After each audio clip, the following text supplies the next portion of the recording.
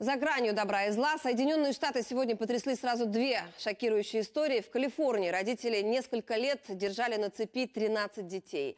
А четырехкратная олимпийская чемпионка по художественной гимнастике рассказала о том, как стала жертвой насильника. Все подробности расскажет Светлана Чернецкая. Полицейские ужаснулись, когда вошли в этот, казалось бы, ничем не примечательный дом. В нем стоял смрад, не было света, а дети были прикованы цепями к кроватям. Службу спасения вызвала одна из дочерей пары. Ей удалось сбежать. 17-летняя девочка была истощена, и на вид ей можно было дать не больше 10. Соседи до сих пор недоумевают, как такие ужасы могли происходить у них под носом. Они относятся к тем семьям, о которых ничего не известно. Я никогда не видела, чтобы к ним кто-то приходил.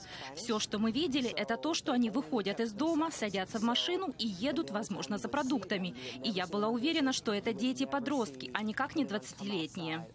Все 13 детей страдали от недоедания, жили в грязи. Самому младшему ребенку всего 2 года, а самому старшему уже 29. Все они сейчас в больнице. То, с чем мы столкнулись, разбило наши сердца. Это настолько печально, что сложно поверить своим глазам. 57-летний отец и 49-летняя мать арестованы. Их обвиняют в издевательствах, пытках и создании опасной ситуации для жизни детей. Им предстоит ответить на многие вопросы следователей. А в мире спорта очередная история сексуального насилия. В этот раз жертвой оказалась четырехкратная олимпийская чемпионка Симона Байлз. Ее насильником был врач национальной сборной США по художественной гимнастике. 20-летняя девушка сообщила, что долгое время держала боль в себе, но, наконец, решилась признаться.